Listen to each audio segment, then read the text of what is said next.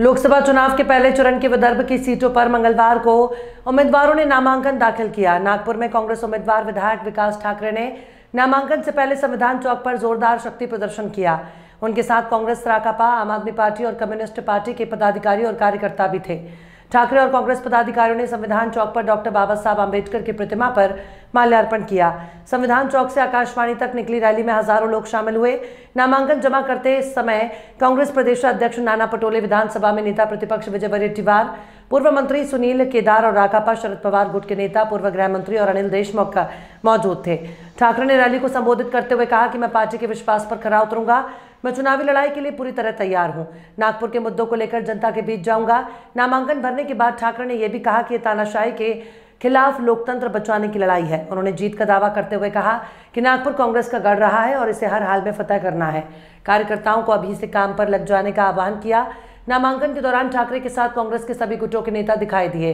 कांग्रेस प्रदेश अध्यक्ष नाना पटोले और विधानसभा में विपक्ष के नेता विजय वडेट्टीवार के अलावा पूर्व केंद्रीय मंत्री विलास मुत्तेमवार, विधायक डॉक्टर नितिन राउत, विधायक अभिजीत वंजारी, विधायक सुनील केदार, पूर्व मंत्री डॉक्टर सतीश चतुर्वेदी, पूर्व मंत्री अनीस अहमद कांग्रेस प्रवक्ता अतुल लोहने, कांग्रेस के बंटी शेल के अतुल कोटेचा गिरीश पांडव प्रफुल्ल गुड़धे पाटिल प्रशांत धवड़ महिला कांग्रेस की संगीता तलमले नेस अली राकापा के नेता अनिल देशमुख दिनेश्वर पेठे पूर्व विधायक प्रकाश गजबिये शिवसेना उबाठा विधायक दुष्यंत चतुर्वेदी प्रमुखता से उपस्थित थे। मान रहे हैं आप आपकी जीत कितनी बड़ी होगी? मुझे लगता है नामांकन पत्र दाखिल हुआ है। और उसके ऊपर से ही आज अंदाज़ा लगा सकते हैं कि इस नागपुर का शहर का सामान्य आदमी जो न्याय की प्रतीक्षा में है, पिछले दस सालों में जो मोदी सरकार ने जो देश को खलाश करने का काम किया है, इस देश की लोकशाही, ये देश के विरोधी पक्ष खत्म करने का काम किया है, कई लोगों को जेल में डाला है। कई लोगों को पकड़कर सरकारें गिराई है और ये नंगा नाच पूरा देश की जनता अपने आग से देख रही है, जिन्होंने 10 साल पहले मोदी सरकार को यहाँ पर बिठाया था। और संविधानिक संस्था का गैर वापर कर कर विरोधी पक्ष पर अटैक करके कोई विरोधी पक्ष नहीं रहेगा। सिर्फ़ मैं अकेला रहूँगा, इस भूमिका में नरेंद्र जी मोदी है।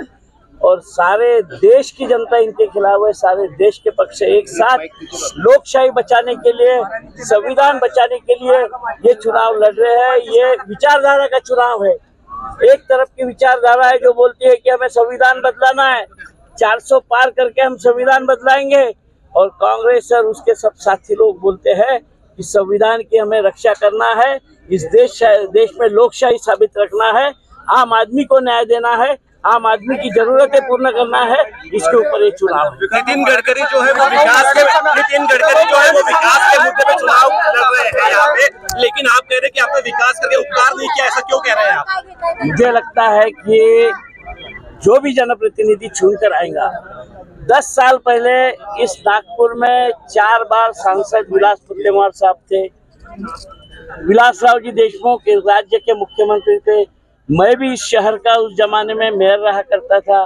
इस शहर में विकास की शुरुआत किसने की? साढ़े तीन सौ करोड़ के आईआरडीपी की योजना इस शहर में लाके यह सुंदर शहर बनाया। टॉप टेन सिटी में इस शहर का नाम आया। एक बघा, ही विचाराची लढाई आहे. आणि नागपूर हे जे आहे, हे काँग्रेसच्या विचाराचं शहर नेहमी राहिलेलं आहे.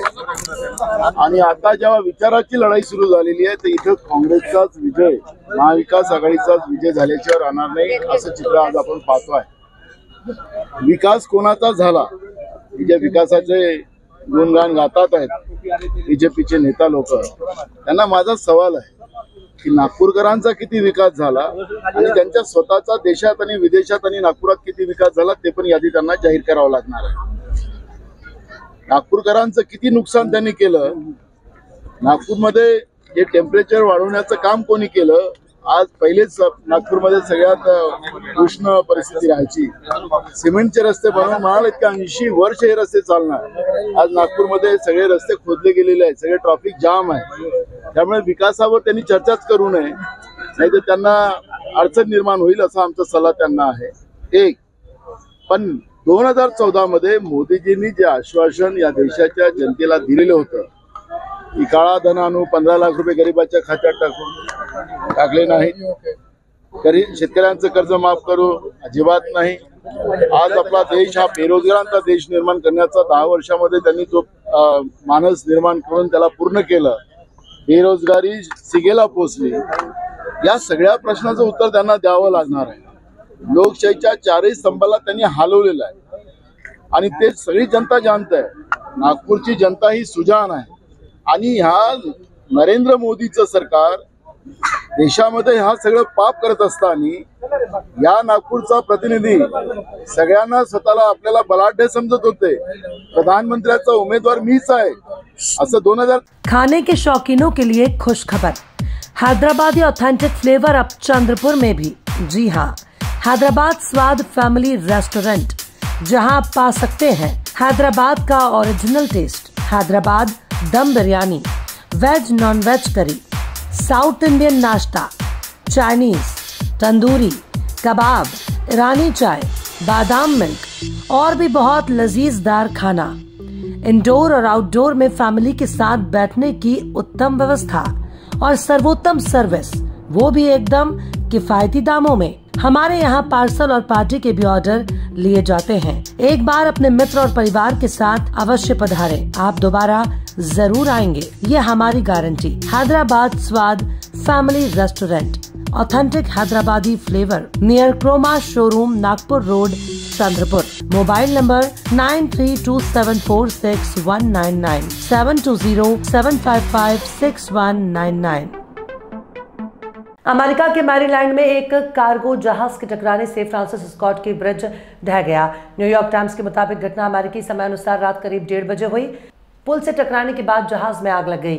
सिंगापुर के झंडे वाला ये जहाज़ श्रीलंका की राजधानी कोलंबो जा रहा था। Ship management company Synergy Marine group ने बताया कि दो पायलट समेत सभी 22 क्रू मेंबर्स भारतीय थे। इनमें से कोई भी घायल नहीं हुआ। इसे रवाना हुए कुछ ही समय हुआ था। ये 22 अप्रैल को श्रीलंका पहुँचने वाला था। जहाज़ का नाम दाली है। पुल ढहने की वजह से इस पर मौजूद कई गाड़ियाँ और लोग पानी में गिरे। फायर डिपार्टमेंट के मुताबिक अब तक सात लोग लापता हैं। दो लोगों को पानी से निकाला गया। इनमें एक की हालत गंभीर है। पानी में गिरे लोगों की जान बचाने के लिए रेस्क्यू ऑपरेशन जारी है। मैरीलैंड के ट्रांसपोर्ट सेक्रेटरी ने बताया कि हादसे के वक्त कई कर्मचारी भी ब्रिज पर मौजूद थे। वो रिपेयरिंग से जुड़ा कुछ काम कर रहे थे। अब तक ये साफ़ नहीं हो पाया है पुल पर कितने लोग मौजूद थे। वे अब किस स्थिति में है? ब्लूमबर्ग की रिपोर्ट के मुताबिक मैरीलैंड ट्रांसपोर्टेशन अथॉरिटी ने बताया कि ब्रिज पर हादसे के बाद सभी लेन देन बंद कर दी गई है और ट्रैफ़िक रोक दिया गया। डाली जहाज़ 948 फीट लंबा था। फ्रांसिस के ब्रिज को 1977 में पैटास्को नदी के ऊपर बनाया गया। इसका नाम अमेरिका का राष्ट्रगान लिखने वाले फ्रांसिस स्कॉट के नाम पर रखा गया है।